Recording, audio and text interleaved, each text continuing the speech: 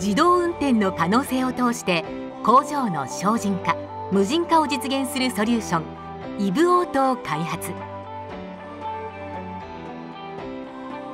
工場の物流改善の取り組みをする中で省人化それから人が介入することでの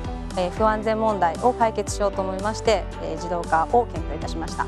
もう最初から誘導線がないのが欲しかったんですよね。このイボオートノミーの車両が、えーと、工場にとって前例のない技術を持った設備ということで、まあ、社内の基準が安全基準が決まっていないという状況です。人によってどの程度のリスクとか安全が許容できるかっていうのが違う中で、えーと、それぞれが納得できるような対策をする必要があるっていうのが、えー、苦労したところです。工場を改善するという一つの大きな目標に向かって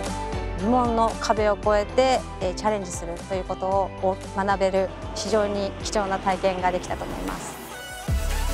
自動運転技術を活用し仕事環境の省人化無人化でお客様の DX をサポートする。お客様と未来を共に創造するイブオート。